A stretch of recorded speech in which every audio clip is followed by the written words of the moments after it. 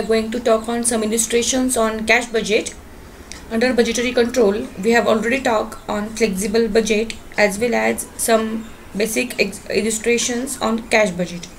Today we will see some more examples on cash budget. This is the example number 3. It is next example. Summarized below are the income and expenditure forecast for the month of March to August 2020 of Flex Industries Limited Faridabad. They have given us months from March to August, credit sales, credit purchases, wages, manufacturing expenses, office expenses, and selling expenses. You are given the following further information. The first is plant costing rupees 16000 is due for delivery in July 2020 payable 10% on delivery and balance after 3 months.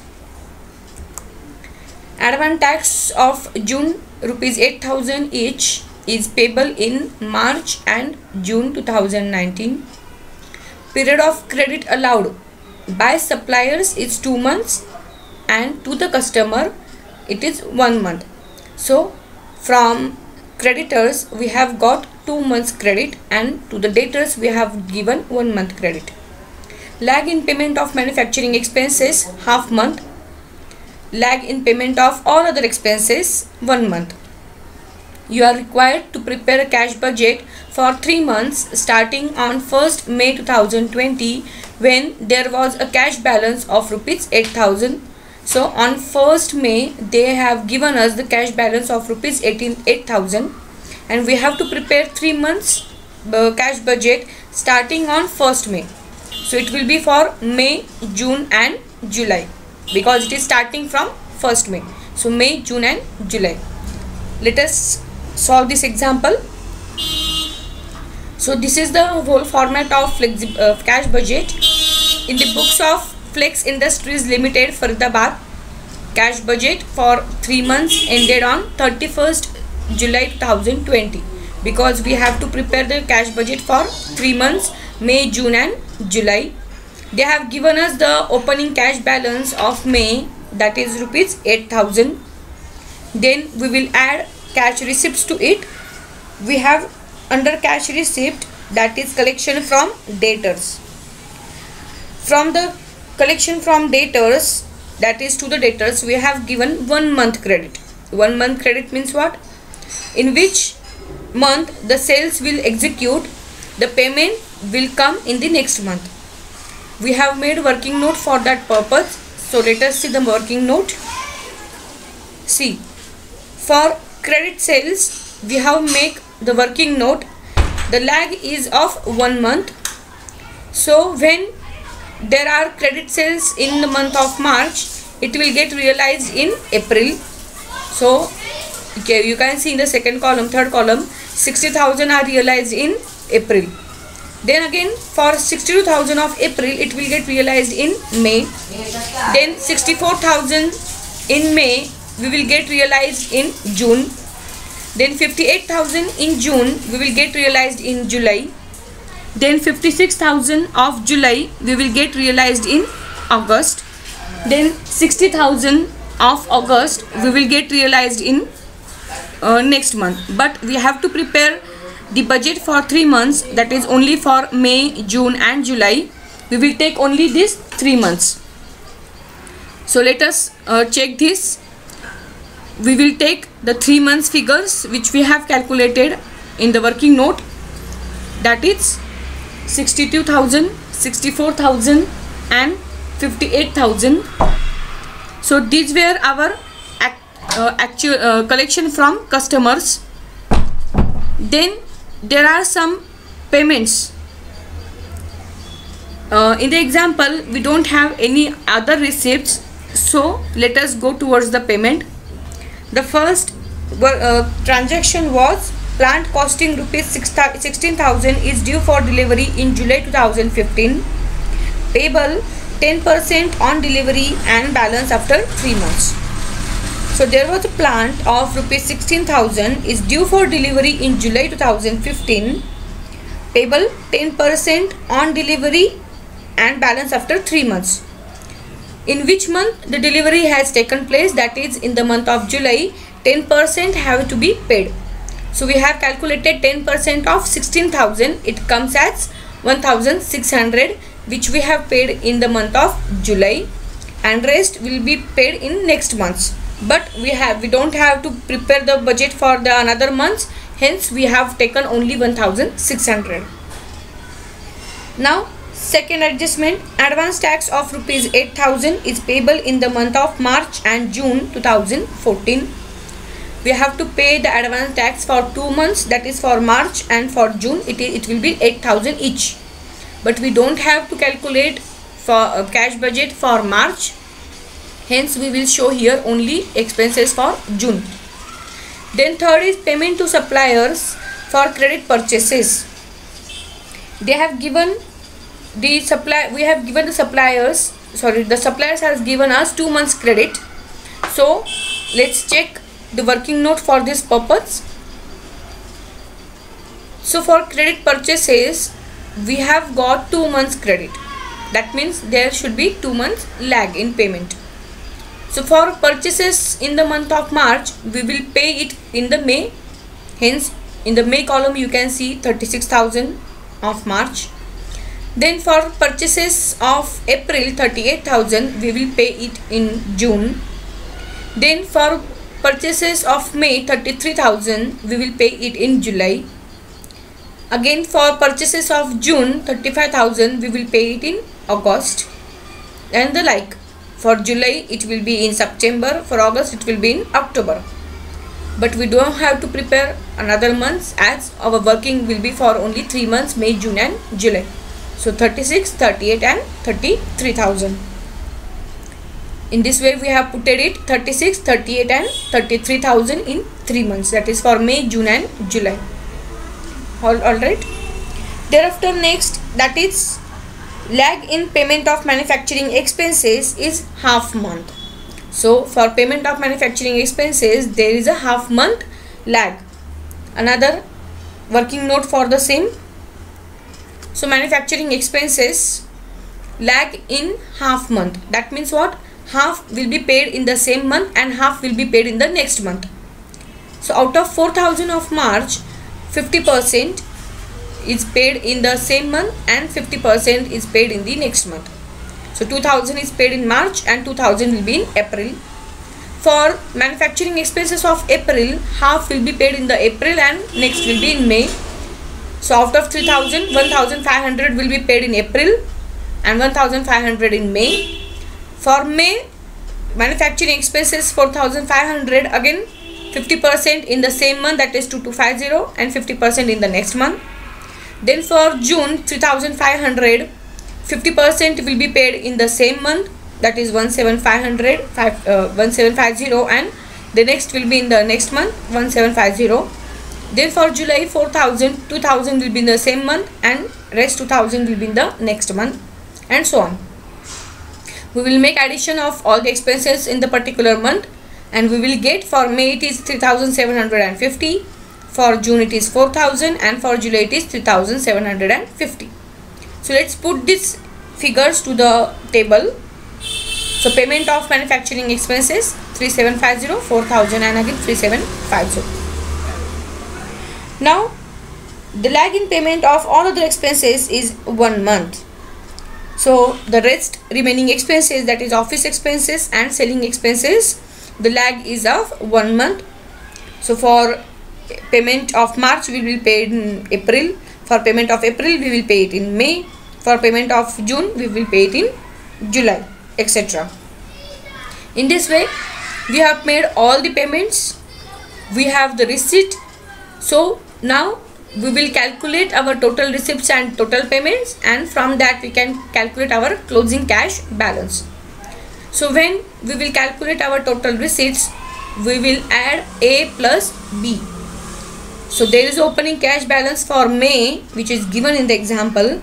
We will A add to the total receipts, uh, sorry to the actual receipts of B that is 62,000 plus 8,000 will be C. It will be 70,000 then we will make payments of total of payments D it will be 54,250 and when we deduct the payments from our total receipts we will get cash balance at the closing that is E 15,750 this closing balance of May will be opening balance of June. Hence 15,750 will be the opening in June. Again we will make addition of all the receipts. It will come as 79,500 we will make payments out of that. That is the payments of 67,000 out and we will get 12,750 closing cash balance for June. Again closing balance of June will be the opening balance of July. So 12,750 will be the opening balance of July.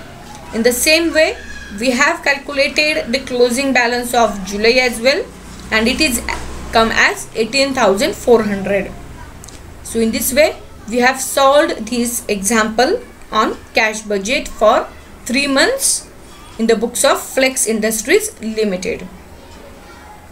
Now let's move towards the next example. Example next.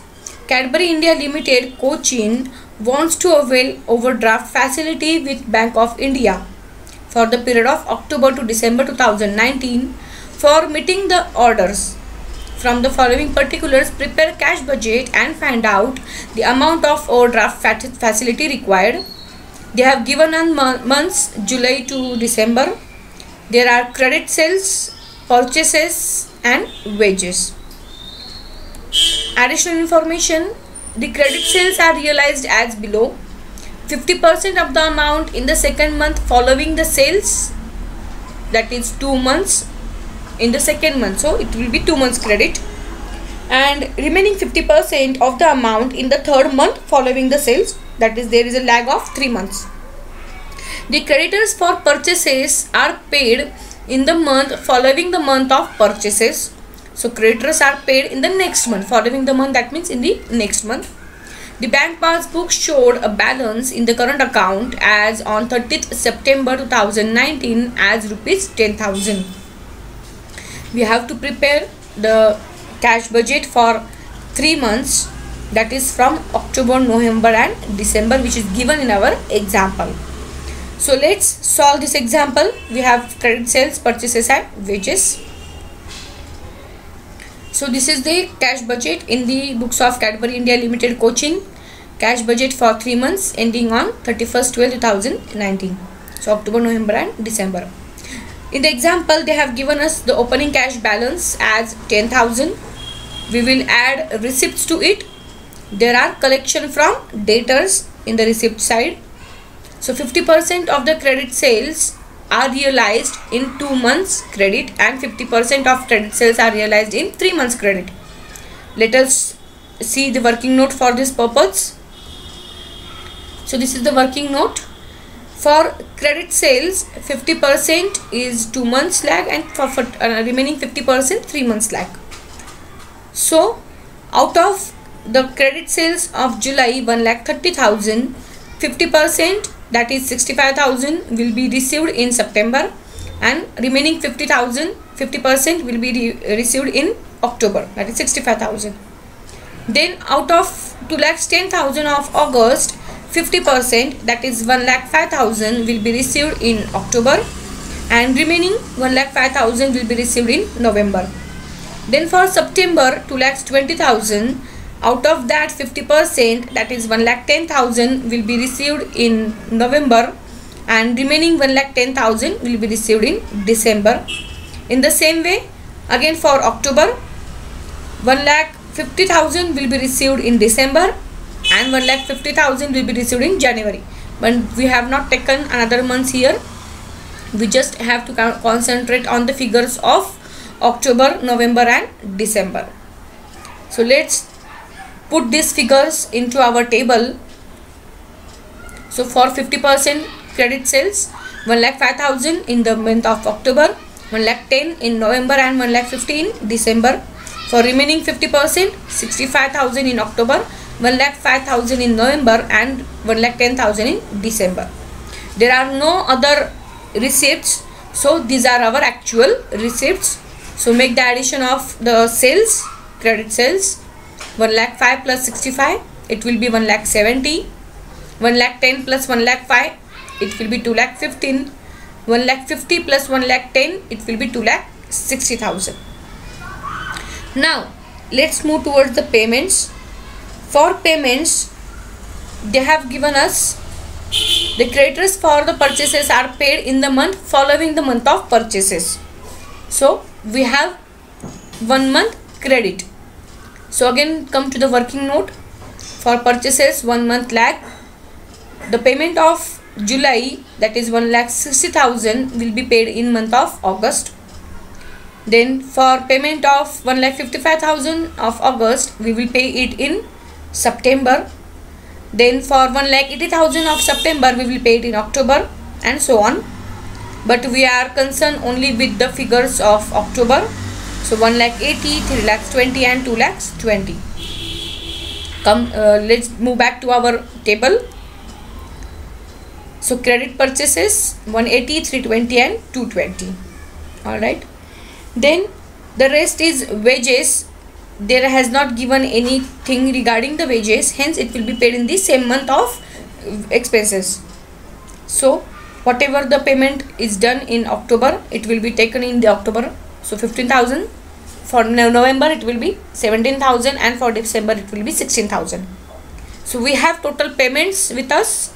We will make addition of wages and creditors. It will be 1 lakh 95000 for october 3 lakhs 37 sorry 1 lakhs 95000 in october 3 lakhs 37000 in november and 2 lakhs 36000 in december. Now uh, as a as per our method we will find out the closing balance at the end. How to find out closing balance? Total risk we will make total receipts and we will deduct total payments from total receipts for total receipts we have to add opening balance to the actual receipt. So a plus b will be our c.